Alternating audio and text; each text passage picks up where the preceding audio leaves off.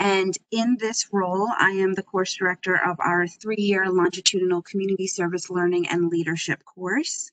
The goal of this curriculum is to expose medical students to the impact that primary care physicians should have in the delivery of comprehensive, continuous, and community-oriented care for individuals in medically underserved in the New Jersey area. I am also the New Jersey Area Health and Education Center Program Director, where I oversee program deliverables for our AHEC grant. I also am a psychologist in background, so I provide individual psychotherapy services at our Mount Laurel Family Medicine Clinic. Um, currently, now I'm providing all those services virtually, but at some point I will be in the Mount uh, Laurel Clinic again providing those services. So that is a little bit about me. Um, I'll also just let you know a little bit about my educational background.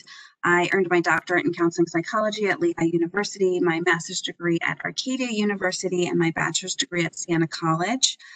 I have experience in a variety of settings, including college counseling centers, inpatient hospitals, and outpatient therapy clinics. Within my own professional community, I am a recognized resource for working with those with multiple minoritized intersecting identities. I've taught this at the graduate level, I've presented at conferences, and I'm a published author in this area. My research and training interests do include implicit bias and how this contributes to disparities in healthcare, um, as well as looking at intersectional forms of discrimination. So for example, racism, sexism, and heterosexism. My clinical interests also include working with clients around life transitions, chronic illness, family relationships, um, sexual and sexual identity, gender identity, racial identity.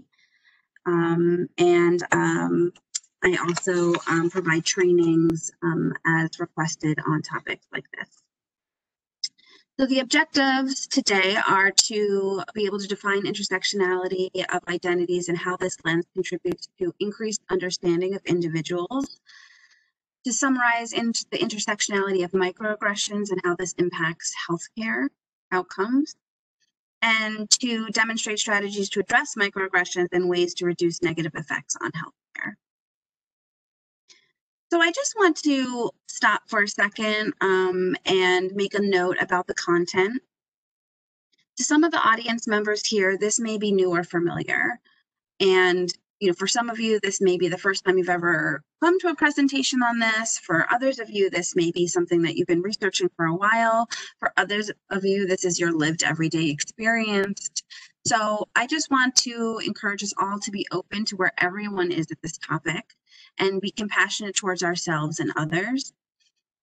If anyone has any questions, um, please, there are no dumb questions. I, I love questions that are any type of questions. I feel like always better to ask them to, than to not, because chances are someone else has the same question.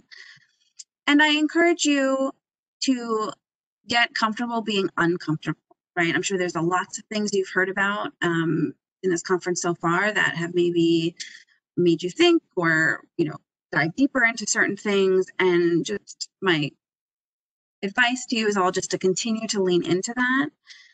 And then also take care of yourself as you need to. Again, like I said, everyone who's in this audience right now is in a different place with this content. For some of you, again, this is maybe fairly new to you. This isn't something you've attended, a presentation like this isn't something you've attended. And for others of you, this is your everyday lived experience. So no matter where you are on the spectrum of understanding and lived experience, the way you take care of yourselves and the way you need to take care of yourself is going to look different. So I encourage you to do that as you need to during this presentation, during this conference in general, right?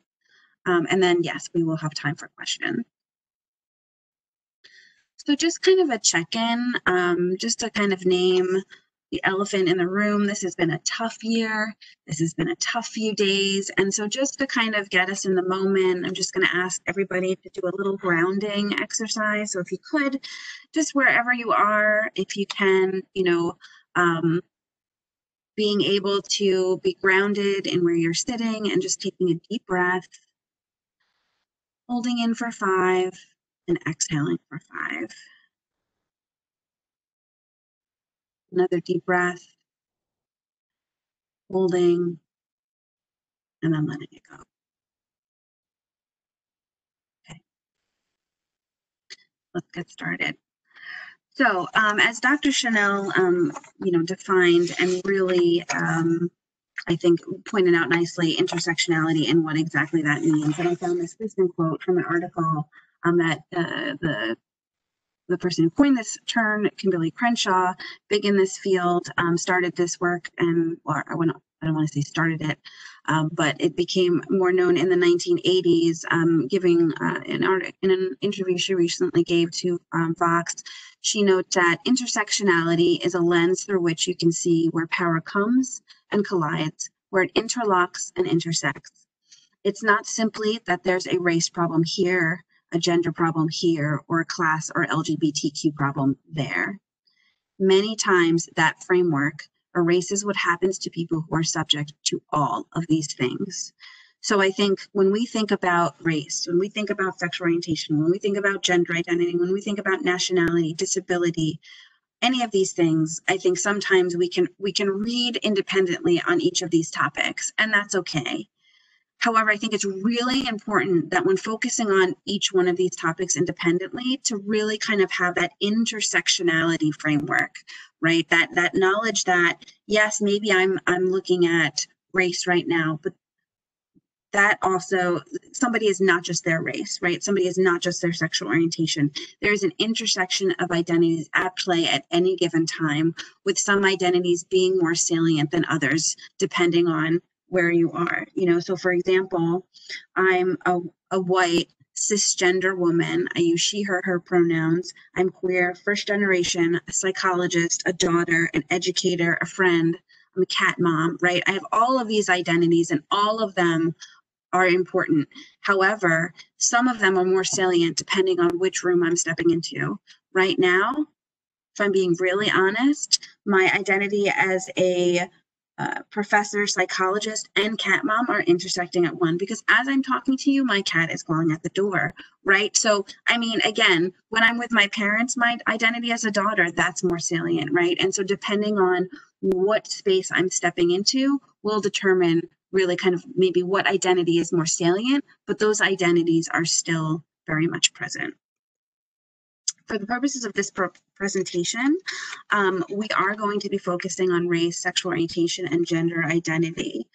Um, so this, um, it, I think, was titled or is titled LGBTQIA, and I want to be really, you know, clear because I think it's important um, that when we are talking about LGBTQIA or LGBT or LGB, we are really clear on who we're talking about because I think a lot of times these letters are put together with very good intentions of being inclusive. And I think we should continue to do this. I think it's the more this, the more inclusive we can be, the better. And I think when giving presentations or writing an article, we need to be clear about the focus of who we're talking about. So my research and clinical experiences is specifically working of the, with people who are at the intersections um, uh, and experience, experience discriminatory experiences on basis of race, sexual orientation, and gender. So this will be my primary focus. But I do encourage you when reading articles that say LGBT or LGBTQIA that you look at your participant data and see how many T are actually in the study and see how many B are actually in the study. Because oftentimes there'll be a lot of L and G, right? Or, um, you know, um, but very few B and maybe no T, right? But yet that acronym is used. So I just want to be really intentional about that. Um, and also, I think it's really important. LGBT is often put together, but we know that, as, as Dr. Chanel pointed out earlier this morning, that we don't want to conflate sexual orientation and gender identity. They're not the same thing. Gender identity, sexual identity, intersex, um, being an ally, advocate, or asexual, these are all not the same thing, right? And so we want to be very, very um, clear about that. So I have some um, definition of terms here um, that we can go over, um, and these may be, you know, um, kind of common terms. I, I won't go read them verbatim, but just kind of have them up here on the screen so we're aware of them. So um, I do want to just kind of highlight a couple things though. So um, in terms of bisexual, I want to be really clear on this. I think historically it's had a very binary meaning, uh, meaning men or women. Um, but Robyn Ochs' definition is, is probably by far my favorite. And she defines bisexual as someone who has emotional and or sexual attraction to both men and women and or other genders, but not necessarily to the same degree or at the same time.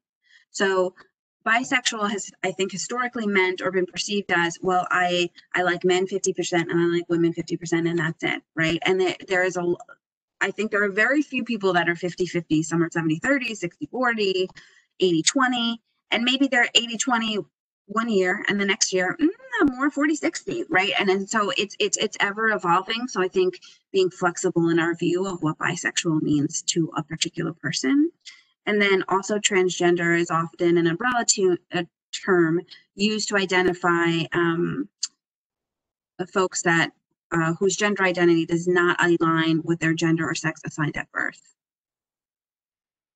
Um, queer um, is often an empowering term referring to um, a number of different individuals. And I always say, you know, I think queer is, is a way to explain somebody who who just has a non-heterosexual and or non-cisgender um, identity.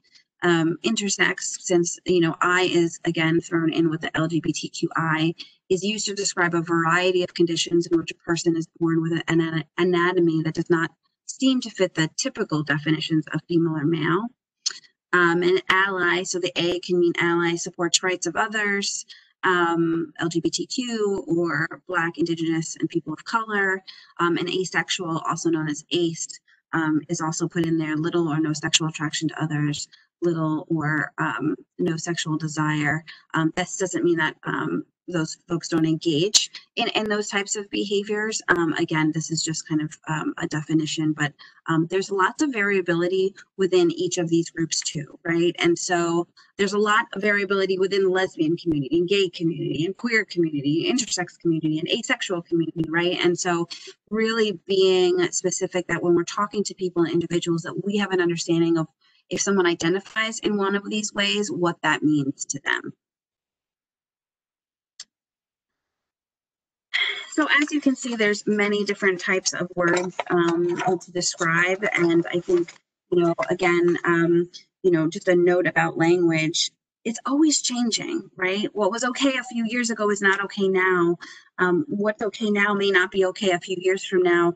Um, and it's, it's, it's forever changing and evolving and that's okay. That's, you know, the more our language changes, the more inclusive we get, which is wonderful. So I just want to be really clear about that and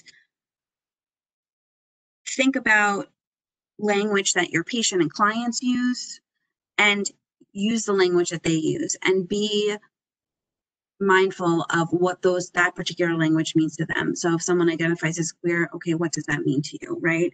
Um, and then just it's not so much about knowing every right word but it's about approaching language with humility knowing that you won't know every definition to every word. Someone might have to explain that to you. You might get it wrong and that's okay. And i think approaching this with humility is is, is the way to go about it rather than feeling like you have to be right about every single word. These are some more terms um, defined, um, and I'm just going to, again, not go through every single one of these, um, but I'm going to talk a little bit about the homophobia, biphobia versus homonegativity, similar similar concept for transphobia versus trans negativity. If you think about a phobia, right, a phobia is an irrational fear of some kind, right? So when we say homophobia, that's an irrational fear of gay, lesbian, or bisexuality, right? That supports maybe some really rigid gender roles. And if you think about it, no one is actually afraid, like fearing for their lives, like having a panic attack when coming into somebody who's not heterosexual or not cisgender, right? And like, so it's not, that doesn't quite fit. Um, so a lot of um, the terms have shifted in psychology literature, at least to homonegativity, right? Replacing homophobia. So this is negative cognitions about people who are not heterosexual, who, people who are not cisgender. Um, and so it, because it, it's that's really what it's about. It's about it's it's a negative idea or negative thoughts about that community, not necessarily this irrational fear. I do use homonegativity and homophobia interchangeably because of my own like I'm just so used to using that word. So um, I, I but I, I think it's important to understand that. And then also internalized homonegativity and binegativity, right? So this really begins, and the same thing for internalized transphobia or transform um, internalized transnegativity. This really begins in early childhood when we consistently hear messages about being othered, right? Um, and so similar to racism, similar um, internalized racism is similar. You hear these negative messages about a particular group that you belong to, and then you start to believe them, right? And this can really lead to um, psychological distress and other health problems. And then also, I'm just going to a note about coming out. Um, I want to say that this is a process of accepting identity, and it's not like a one and done. I think uh, in the media, there's a lot of like, yes, out and proud, and that's great for some people, and that works for some people. And yes, there are for some people great mental health benefits to that. However, there are lots of things to consider when coming out in terms of physical safety, emotional safety, right? It is not always safe and the best thing for somebody to come out. So I think as healthcare professionals, we really need to understand that. Um, and so really meeting someone where they are in terms of that. And then um, also revealing someone's gender identity, sexual identity, this is a lifelong process, right? Every new environment that person is, it's a constant process of coming out. So it's not kind of this one and done type of um, experience. So moving on a little bit, I think it's just really important, um, you know, to talk about history. Um,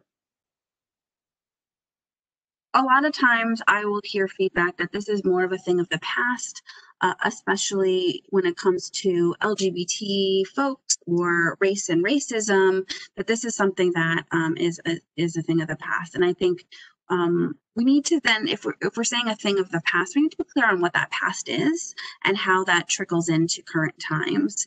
So you know, for example, um, the removal of homosexuality from the Diagnostical Statistical Manual, declaring that it's not a psychological disorder, happened in 1973, and that's not that long ago. Um, and I'm, I'm actually going to make a note about language here. So, um, homosexual is often a term I, I, I hear more in the medical medical community than I do in the psycho the psychology community because homosexual was the word used to describe homosexuality as a disorder. So while some people might identify as homosexual, it's actually in some communities considered more of a derogatory term because of its negative connotation and because of how it was used in the past.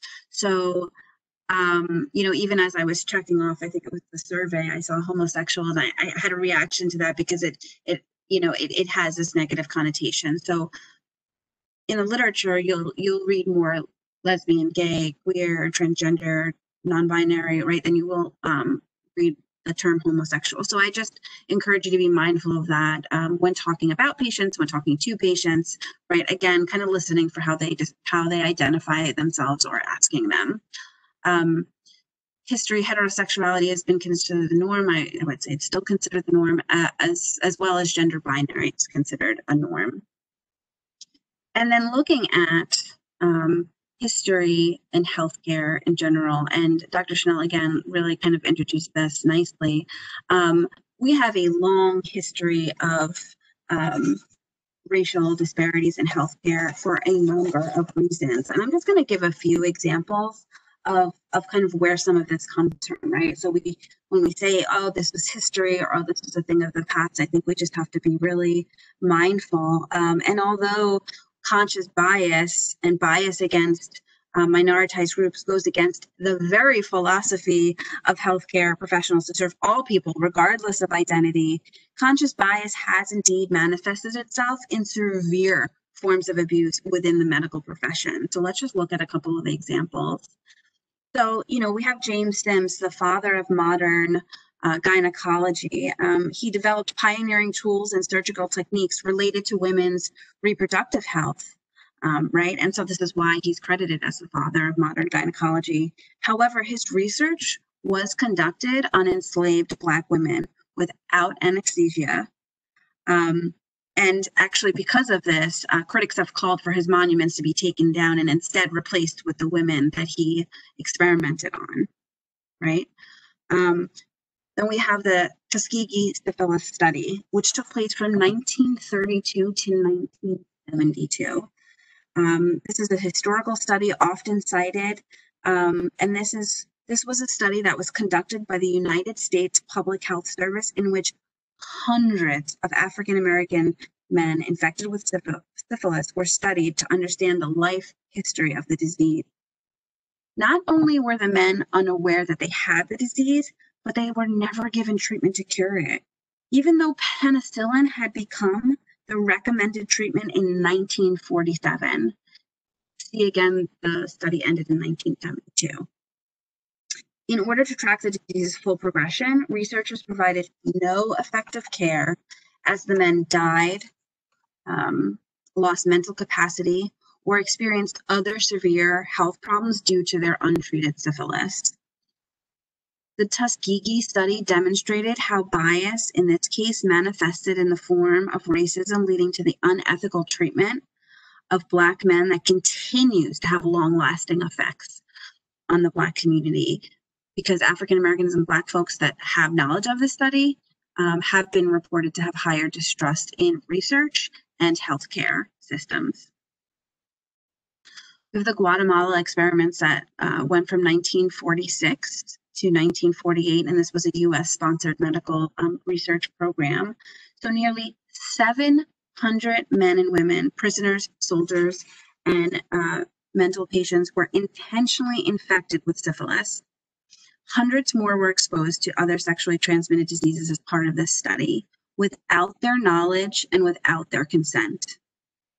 The purpose of this study was to determine whether penicillin could prevent, not just cure, a syphilis infection. Some of those who became infected never received medical treatment. The results of this study, which took place with the cooperation of Guatemalan government officials, were never published. The American public health researcher in charge of the project went on to become the lead researcher in the Tuskegee experiments. Sterilization of women of color. This has a long-standing history with our medical health systems. Forced sterilization, considered a form of to torture by the United Na Nations, is just one way in which governments have historically weaponized reproduction, um, reproduction um, to communities um, that are considered undesirable or expendable as a, uh, as a nation. Countless uh, Americans, um, particularly Black Americans, um, who were poor or mentally ill, um, who were considered undesirable, were sterilized as part of the eugenics movement that created, um, that gained momentum in the United States um, in the 1970s um, this program was put in put forth to prevent quote unquote undesirables from reproducing so that problems such as poverty and substance abuse would be eliminated in future generations. By the 1960s, tens of thousands of Americans were sterilized in state-run eugenics programs.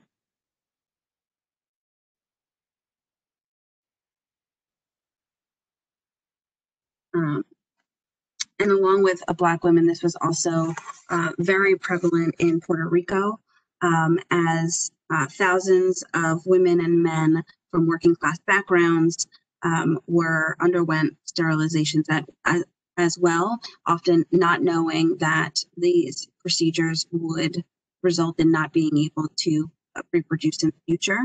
Um, this was also impacted Native American women um, and it is said that uh, sterilization um, happened among 25% of Native American women who were between the ages of 15 and 44 during the 1970s. So again, we ask ourselves, why is there distrust in the medical system? And I think it's important to look at our history for those answers um, in looking at the HIV epidemic. Um, in the beginning of this, a, the high prevalence of HIV among gay men led to initial beliefs that the disease could not be transmitted beyond the gay community. This association really hindered the recognition of dis this disease in women, children, heterosexual men, um, and blood donor recipients. The fact that gay white men were overrepresented in early reported prevalence data likely led to lack of recognition of the epidemic of in communities of color. Today, there's still no clear solution to learning about the epidemi epidemiology of diseases without these imprecise, imprecise associations, which can impact um, accurate diagnosis and therapy. Coming a little bit more current, um, the LGBTQ non-discrimination protections removed from healthcare and health insurance um, on June 12, 2020. So the current administration uh, defines sex discrimination as only applying when someone faces discrimination for being female or male and does not protect people from discrimination on the basis of sexual orientation or gender identity what the rule does. This rule focuses on non-discrimination protections laid out in Section 1557 of the Affordable Care Act. The federal law established that it's illegal to discriminate on the basis of race, color, national origin, sex, age, or disability in certain health programs and activities. In 2016, an Obama era rule explained that protections regarding sex encompass those based on gender identity, which it defined as male, female, neither, or a combination of male and female. Under the new rule, as of June 12th, um, a transgender person could, for example, now be refused care for a checkup at a doctor's office. A transgender man being could be denied treatment for ovarian cancer, or a hysterectomy not being covered by an insurer, or costing more when the procedure is related to someone's gender transition. This has grave impacts on Black trans people and can have devastating effects on Black trans women of color in particular. African Americans who get COVID 19 are much more likely to die from that disease than white Americans. A re recent report from the Williams Institute in the uh, UCLA estimates that hundreds of thousands of transgender adults may be especially vulnerable to COVID 19 because they have an underlying condition or are over 65 or lack health insurance or live in poverty. For Black transgender people, this is multiple layers of oppression that could affect their ability to get health care during this pandemic. Okay. So moving forward back to, well, I guess we were forward, but just kind of taking a look at um, other types of um, statistics on forms of discrimination. Um, I've done this presentation a couple of times and I um, update this chart every time. And so um, according to the FBI in 2018, um, looking at experience bias incidents, there were 14, uh, 45 hate crimes reported in the US that were motivated by sexual orientation bias. Um, so this is about 6.7% of all hate crimes. So as you can see here, anti-gay male was um, the highest number of victims um, here. And, um, you know, this has been a pervasive problem and this number um, has increased since I started uh, presenting these statistics a few years ago. Um, and I think one thing to be careful of is that this is probably a, a, significantly underreporting of the number of victims. One being that because if I'm going to report a crime uh, that has something to do with my sexual orientation, I have to out myself. And so, depending on fear of um, heteronormativity, homophobia in the criminal justice system, I may not want to report. Um, and um, you know, lots of other reasons why I, I, I just maybe fear, you know, kind of a re um, what's the word I'm looking for, a re, discrimination experience if I if I report this. So I think that's really important to um, to note. And I, and then thinking about um, just uh, I saw a question pop up. I'm, I'm, getting distracted, but yeah, there is. This is how the FBI breaks it down um, in terms of a um, like a anti-lesbian, gay, bisexual, and transgender all together. Um, so I just reported it as they reported it. I also wanted to take a look at um, hate crimes reported in the US that were motivated by race, ethnicity, ancestry, and bias. So this is 59.6% of all hate crimes. Um, so when, you know, and just, you know, take a look at the, the actual number here of all um, of these of these different groups that experienced uh, hate crime. Again, I would even say this is definitely underreported for lots of reasons um, in terms of fear of racism in the criminal justice system. So um, just some kind of something to keep in mind. Again, when we say like it's a thing of the past or we hear that, like this is not a thing of the past.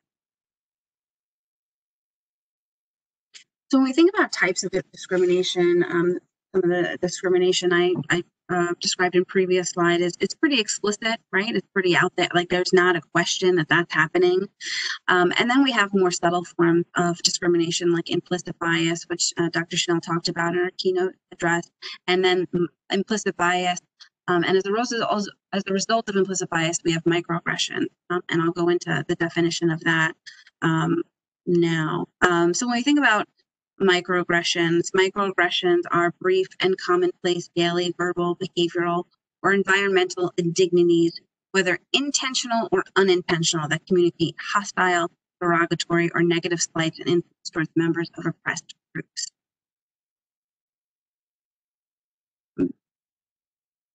This was this this term was first coined in 1970 um, by Dr. Pierce and it's been really um, popularized by Dr. Derald Wing Sue in 2007 in his work with racial microaggressions. I would also say, well, you know, Dr. Sue has talked about this in some of his writings and some of his presentations I've went to, is that microaggressions are kind of the new wave of discrimination as he explains it. So I went to say, well, it's no longer acceptable to be outwardly discriminatory, although the last few years would suggest otherwise. Um, it has, it has been more kind of, this has been the more accepted type of discrimination because it's more subtle. It's more between the lines. It's more, um, you know, harder to tell if, if, if a discriminatory discriminatory act actually took place. So this is an example here um, I found in an article. So um, you know, a man comes into an appointment with his primary care provider. In the exam room, he greeted, he's greeted by Dr. Morales, a Latina intern, who is not his usual doctor. The patient says, "You're you're you aren't a real doctor. You're too young. I want someone who can speak English." So when Dr. when Dr. Morales leaves the exam room to staff the encounter with her attending, she shares with the patient with the patients that her attending, an older white man says, as a woman of color in medicine, you're going to have to get used to that. So we, we see a couple of intersections here, right? We see gender, we see race, we see age, right? So a lot of things going on here at once.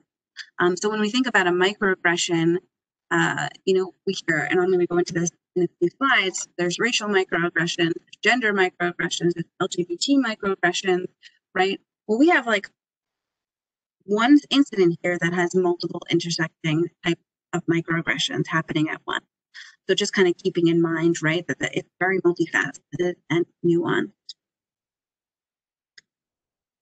In thinking about the type of microaggressions, right, we have micro assaults, um, micro insults, and micro invalidations. Um, so your micro assaults are kind of like your typical typical. Um, your outwardly conscious and intentional acts, actions, or slurs, such as, um, you know, um, or, or displaying swastikas or something like that, right? That's like really obvious. Micro insults are more subtle. Um, they're verbal and nonverbal communications that subtly convey insensitivity or demean a person's racial heritage or identity. Um, microinvalidations um, subtly exclude or negate or nullify the thoughts or feelings uh, or experiential reality of uh, a person of color or uh, somebody who is non-heterosexual or non-cisgender identified. Um, and Dr. Sue really focuses on the, the, the last two because of the subtle nature of them and because of the insidious of them and the daily repeated experience um, that people often face um, as a result of micro insults and micro invalidations.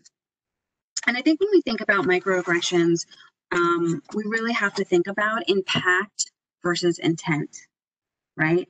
Um, impact versus intent. So an example I use um, to talk about this, and this isn't, you know, mine, but I can't tell you where I heard it from is really thinking about, right? Let's say you're walking to the train, getting ready to go to work, and someone steps on your foot while you're waiting on the platform. You know, it was a mistake, honest mistake, ouch, okay, sorry, right? Then you get on the crowded train, well, maybe not these days, but you get on a crowded train and, you know, you're sitting down and somebody standing accidentally steps on your foot, different person. Uh, it hurts a little more, but, you know, person didn't mean it, whatever. You go, you're standing on the coffee line to get coffee at work. Um, someone accidentally steps backward, stepped on the same foot. They didn't mean it. Oh, it hurts though because you haven't even sat down at your desk yet and three people already stepped on your foot right? And now 10 people throughout the day in different instances, instances step on the same foot. None of those people meant to hurt you. None of those people meant to bruise you, but you're bruised anyway, right? And so we have to be aware of the impact that we have, that even though I didn't step on your foot 10 times, it still hurts when I when I do that, right? And so that, you know, when we think about microaggressions, you know, I think we need to kind of think about them in the same way, right? I didn't mean to do it, but I did indeed perpetuate a microaggression, right? So um, really kind of being mindful and present and centering the other person's experience instead of our own. And I think this is really critical when we're thinking about maintaining relationships in the workplace, in our personal lives, to really be able to center um, the impact versus our own intent. So in just thinking of themes of racial microaggressions, um, and I'll break this down in, you know, um, in terms of racial microaggressions, LGBTQ and T microaggressions, and then intersectionality of microaggressions. So just some themes here um, is looking at, um, so for example, one, um, this was uh, themes found in a qualitative study um, and um, one theme here is alien in one's own land. So really being kind of um, thought to not belong here um, for whatever reason. Um, specifically, people of color not belonging here in the United States. Um, a second theme here is description of intelligence. So the notion that intelligence levels are really um, dependent on race. Um, so, you know, for example, when Black people are complimented for being so articulate, or Asian Americans are assumed to be good at math and sciences, right? Then there's color blindness, right? I don't see color. I don't see color. Every, you know, everyone is the same to me. Um, is another microaggression. Um, the assumption of criminality. So if someone is a black individual, they're assumed to um, be a criminal or be likely to commit crimes. Um, and then also the myth of meritocracy, right? So um, thinking about uh, when white people deny that race influences success and supports the notion that everyone moves forward based on talent and hard work, right? Saying that if you know people, black people and people of color just pull themselves up by their bootstraps, everything would be fine. Um, another theme being uh, pathologizing cultural values and communication styles, right? So centering the white the white perspective and that that if you you don't align with that, then something is wrong. Um, and then also being viewed as a um, second class citizen that anyone who is not white or um, is not is, is not worthy of the same benefits that white folk are. Really um, pervasive mental health outcomes um, as a result of racial microaggressions have been found. So depressive symptoms, higher levels of anxiety, underage binge drinking, suicidal ideation, lower self-esteem, and lower levels of psychological well-being. Here are some themes of LGBTQ and T microaggressions. So heterosexist and transphobic terminology. Um, this was these these themes were found in a qualitative study um, looking at these things. So thinking about um, you know the many kind of uh, phrases or things that um, perpetuate heterosexism. So like that's so gay or or things along those natures that nature. Um, heteronormative or gender binary culture and behaviors, right? So it may be assuming somebody is straight unless they tell you otherwise, or assuming someone is cisgender unless they tell you otherwise. Assumption that because you're queer and you're queer, you must have the same experience, right? Um, and what we know about within group differences is that is sometimes a lot more different than um, between groups. Um, exotic, um, being exoticized, right? So um, depending on how you identify. Um, discomfort or disapproval of the LGBTQ experience. So because that's not my experience and my heteronormative or, or my cisnormative experience, then I don't know that uh, I'm so approval. I'm so approving of that. Um, also, denial of societal heterosexism. That's a thing of the past. Like you have so many rights now. That was a recent thing my partner heard at work. Like you have so many rights, you have no reason to complain. Right. Um, assumption of sexual pathology and abnormality, um, denial of individual heterosexism and transphobia. Um, there's also an undersexualization, meaning that I'm okay with you, but just don't talk about your relationship because I don't even want to think about you having a sex life.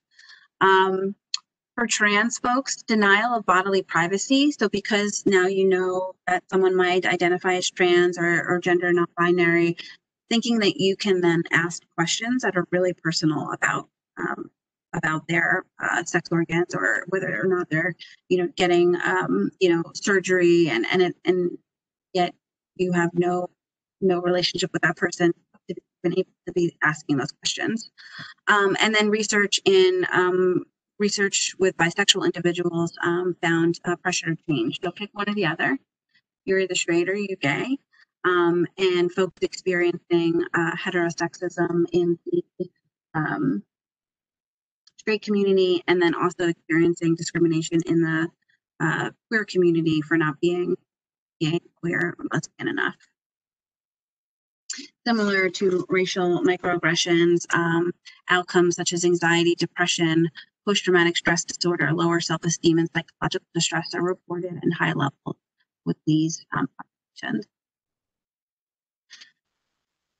So um, just in thinking about her health outcomes continued, um, this uh, LGBT discrimination and psychological distress has been found in um, multiple samples. Um, so when we think about um, who, how this, how discrimination and psychological distress affects folks, this has been found um, in predominantly white sexual minority women and men. This has been found in African American, Asian American, Latina, and Native American folks.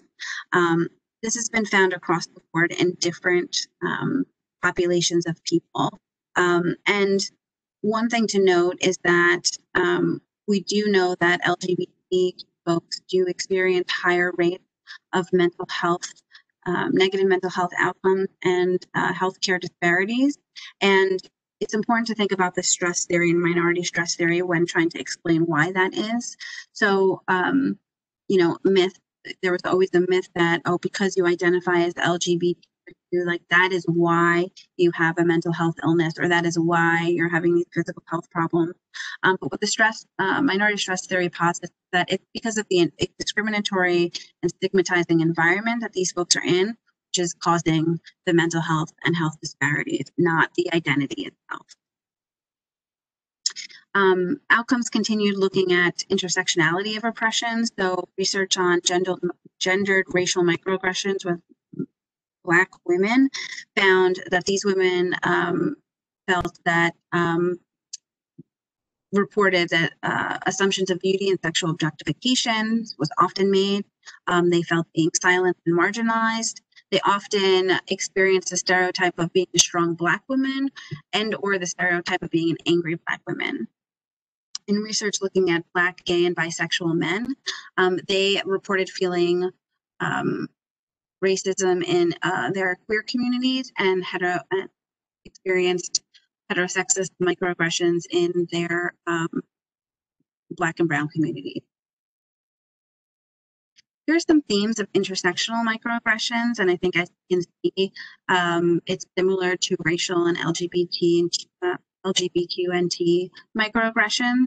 Um, and I think um, it's really important to look at both separately and also see where themes of intersectional microaggressions also come up. Um, so I'll just read a couple here. Assumption of inferior status of men of color, invisibility and desexualization of Asian men, assumptions of inferiority and criminality for men of color, gender stereotypes for Muslim individuals, and women of color as spokespersons, right? So some are some are similar to the other ones we saw in the past, but some um, are, are different when we look at the intersectionality of microaggression. So I'm just looking like, how does this affect healthcare and patient interaction? Um, in, in some studies looking at white providers who score high in implicit bias, but not explicit bias when interacting with Black patients.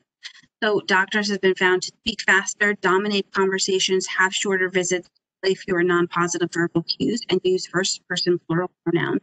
So these are all examples of microaggression, right? They're unintentional things we don't think we're doing, but we're doing them, right? In thinking about the effect microaggressions and implicit bias can have on rapport, um, emotional rapport is central to patient-centered care, and this, in some studies, have shown that it independ independently predicts Black patients' trust in providers.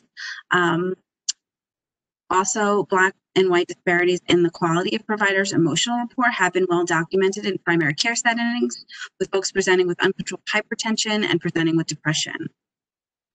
The study also found that when race and socioeconomic status became salient in the encounter, research shows that providers may demonstrate shifts in attention to focus on racial features, expressions of automatic, inaccurate, negative stereotypes, heightened physiological threat responses, and anxiety um, and avoidance overall of discussions of race and racism, also microaggression. So I think we have to think of, you know, taken together, all of these things being common barriers to healthcare and why. Again, going back to our history in healthcare, working with these populations. Also, health insurance thinking about you know who has access to health insurance and who does not. What does health insurance cover now versus what it did? Um, also previous negative experiences with the healthcare system we cannot not be affected by all of these things right? It, this is like the air we breathe. Implicit bias and perceived uh, negative stereotypes right? This is we all have them. I've given this talk a lot of many different times. I still have them. I still have to work on these things, right? And so if I'm somebody that has had repeatedly negative experiences with healthcare providers, and there's a history of healthcare being against me, literally, right? This is going to impact then my reaction or my feeling in the healthcare office. And while you as you know future physicians or current physicians maybe you didn't cause the problem right like i never did that right we are still responsible for doing our part to understand the impact that bias microaggressions have on folks both in the physical um, both in their healthcare and their mental health. Um, so what do we do right? And so thinking about what we do um, and i know i only have a few minutes left um, thinking about a framework um, and I draw this from Dr. Sue's model of cultural competence, um, is really building on our awareness, knowledge, and skills. So awareness first and foremost of our own assumptions, values, and biases, right? What, was race and racism talked about in your home? Maybe that was all you talked about. Maybe you never talked about it, right? What were the messages about LGBTQ people um, what what kinds of you know when you think about your family your religion you know your your schooling experiences what were these messages right? Because all of this stuff all of this stuff got ingrained in our minds right? And how does this how does this come out in your everyday? And really doing that work to really understand okay where are my biases? Where are my blind spots? That is the first most critical step of all of this work right? And then there's the knowledge piece right? So uh, do your reading, do your research, really understand about these different groups, about the history, about previous, um, you know, healthcare um, systems, right? Now, with this knowledge, that doesn't mean, right, that we take that knowledge and then apply it to, uh, you know, if I if I do a lot of reading on Black and lesbian women of color, Black and lesbian, you know, um, sorry, black uh, and lesbian uh, folks, right? If I do a lot of this intersectionality research, and then in my office, I am with someone who identifies as black and identifies as lesbian, right? I don't want to just apply all that reading I did. Okay, well, you must fit all of this, right? Because one size doesn't fit all. There's a lots of, again, within group difference. So while knowledge is important, and I don't want to discount that, we also have to like figure out what these identities mean to the people in front of us because what it means to one person might be different for somebody else. We constantly just have to approach that with humility and really, really kind of being open to learning and growing and understanding what identities uh, and what these labels mean to the people in front of us. And then skills, right? We want to use appropriate intervention strategies and techniques. Um, so I'm going to skip that. Um, um, but one of the things I, I want to point out, and I use this slide in my CSL class, is that, you know, each of our patients, you know, they come in with specific symptoms, right? And we want to fix the problem. But at any given time we're in a room with a person, our patient has different identities kind of swirling up there, almost like, you know, thought clouds, right? And and so do you you're going to have that that's for you too so we want to always kind of think about how the intersection of identities is even interacting in the room with your patient right so you know my religion or how i grew up in my family might interact with how my patient identifies or lives their life right and we just need to be aware of those things right so when we these biases come up or these automatic thoughts we have up you know where they're coming from and I'm just going to skip some of the knowledge because I kind of said all that. I think it's also really important to understand the protective factors too, right? And so knowing what are some protective protective factors for the community. So collective action. So being involved with um, whether that's discussion groups or political activism or um, you know listservs, right? We know that collective action can also help um, be a protective factor. Social support. What are what are these? What are what does your patient's social support system look like? Right. What is your emotional openness to, you know, processing your patient's feelings of being discriminated against in certain contexts? Um, and then again, thinking about you know um, hope and optimism for the future, like this, you know, having that hope and optimism and knowing that you know things um, that there's a lot of resilience in these communities. And then also thinking about protective factors coming out, again, not a universal resilience factor for all the reasons I mentioned earlier. So just kind of thinking about strategies to um, to really kind of be able to address bias and address microaggressions is really stereotype replacement one, right? So if you have a stereotype in your mind, picture the opposite right? And make an association with that opposite stereotype. Um, this is kind of along with counter stereotypic imaging. Um, individuation, like I've been saying, like see how that person identifies, see how that person defines themselves, um, and really put yourself in that other person's shoes, uh, perspective taking. Increase contact, volunteer, read. Um, you know, when you think about doing your next rotation or your clinical experience, like go into a community that you're not familiar with, really increase that contact.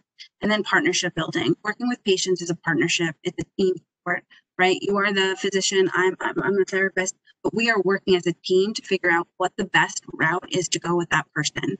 So, really looking at it as a partnership. Um, I think also here in healthcare um, settings, basic understanding of your patient culture, um, and I've kind of went through some of these already. And then, you know, what also kind of lastly, what can we do? So creating a welcoming space. Um, you know, is your non-discrimination policy visible? What are the signs in your office? Literally, I know me when I go into a new doctor's office, dentist's office, any office, like professional office, I'm looking around like, where are where's one little message that something is going to affirm me? Right? Is there is there pamphlets on LGBT or LGBTQ and T like um, health or groups what does your website look like like is there do i see myself reflected in any of this right um, as a as a healthcare provider establish trust and rapport right you know and i think folks that are going to primary care obviously myself as a therapist like we have more of an ability to develop this over time um, and i think that is, is so critical when you think about patient um, physician relationship. Um, asking open-ended questions and not assuming anything. Someone asks me where the bathroom is, I tell them where the women's bathroom is, where the men's bathroom is, and where the, you know, whatever unisex bathroom or gender neutral ba bathroom is, whatever it's called in that particular office, right? I don't make any assumptions, no matter how someone presents to me. Um, and using really gender inclusive language, right? Not assuming someone's partner um, uses he or she. Maybe maybe they use they or them. Maybe they use ze, right? And like so, really kind of understanding like not that that idea of not making assumptions. and then just being aware of specific issues related to um, folks with multiple identities, um, particularly LGBTQ and T communities. That's it. I'm a few minutes over. So sorry about that. Thank you so much um, for joining. Um, I don't know if we have, I know we have some time. I'm happy to answer any questions or if folks want to email me, that's okay too. Uh, thank you, Dr. Birch. Um, there are uh, two questions that came in. Uh, one was, um, you know, given the limited time we have with patients, uh, how do we, how do you generate safe space for them to comfortably share their identity and sexuality? Mm, that's a great question. Um, and I think that that is a, a common question because in the healthcare profession, you're constantly moving from, you know, person to person. Um, and I think it's just really being present with that person, right? So like, I know myself, I'm, uh, you know, I'm always go, go, go thinking of the next thing. Um, but just being really present um, when you're asking questions, asking open-ended questions. Um, I think it's a lot of like solid communication skills and nonverbals. Eye con, you know, again, I'm, I'm going to come from my own perspective, but maybe that's eye contact, you know maybe that's nodding your head you know it's a, a, stance of being interested right i mean a lot of our communication is nonverbal um, and so just being taking a real interest like i see my pcp and like i like her and everything but every time i'm talking to her she's typing she's typing and i know she has to do that and you know i get it and also like i don't really feel a connection to her because she's never really looking at me um, i don't think she knows that really anything about me so um, you know how are you know even thinking about everything that's going on right now, like acknowledge it. How are you doing? You know, this week's been tough for a lot of people. How are you doing? Like, and being genuinely interested. Um, that's a great question. Great, thank you. And then the last question was, um, you know, how do we address microaggressions from our colleagues towards other yeah. patients? That's a good one. That's a really great question. Um, so I guess I would want to know, I mean, uh, so that can that's a big question. And I think it really depends on your relationship with that colleague. I think, and it depends on what they're saying, right? So if they're saying something um, really overt and really like obvious, you know, I think it's a, it's certainly okay to address it in the moment and say, hmm, let's think about that. Or, what do you mean by that? Or I think a lot of times um, when I hear microaggressions from colleagues, I'll address them one on one and say, hey, like, you know, I noticed, you know, you said XYZ. What did what did you mean by that? Or um, can you tell me a little bit more about that? I, I, I try to come from a place of curiosity instead of um, like accusatory um, and and really kind of understand where they're coming from and you know, let's say I was right, right? They're coming from a place that wasn't so great. I might be like, well, you know, I'm not sure, you know, I perceived it like this. I don't know if other people might have perceived this like like that. I also am very um what's the word? I I could have made, you know, I I know that I talk about microaggressions a lot and I also commit them and I know that's going to happen, right? And so a lot of times sometimes I I might share an experience like you know I, I know i've said things like this in the past and actually or i thought this in the past but then i learned this and someone told me. So you know i mean so i, I also try to own in conversation with folks that i'm just susceptible of making mistakes. Um, and it's not just me coming to you telling you you did something wrong but i, I do think it, it depends a lot on the power dynamics the different identities of yourself and your colleague. Um, and so a lot goes into that but i think um, you know, I try to do a one-on-one conversation um, and, and, try to kind of see where that person's coming from before um, assuming that they're coming from a bad place. Um, even but that's a lot harder um, to to say than do sometimes. But I'm happy to, you know, if anyone wants to talk more about that at some other point, I'm happy to meet with you or talk with you. Great, thank you so much. Um, thank you, Dr. Rich, for you know talking to about this topic with everyone. Um, uh, for everyone that may still be here, I am currently posting uh, the link to the uh, interprofessional panel, which starts about four minutes.